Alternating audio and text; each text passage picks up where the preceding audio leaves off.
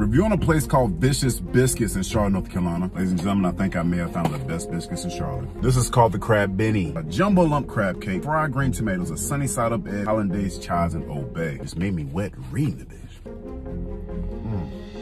Hey, listen, bro. Listen, listen, listen. Excuse my face. It is well worth it. The biscuit, huge. Get the hollandaise getting off that thick, creamy. You a creamy bitch, ain't you? If you do not like sunny side up eggs on your biscuit, bitch, your sex life must suck. In fact, they do give you a jumbo lump crab cake on this mug. Turns me on even more. See how this fried green tomato tastes daddy like. If the crab cakes was not as bland as some of y'all's relationships, and the hollandaise sauce was a little bit sweet with a little bit of tanginess, we would have been having another conversation. But $18, is worth it. 8-8.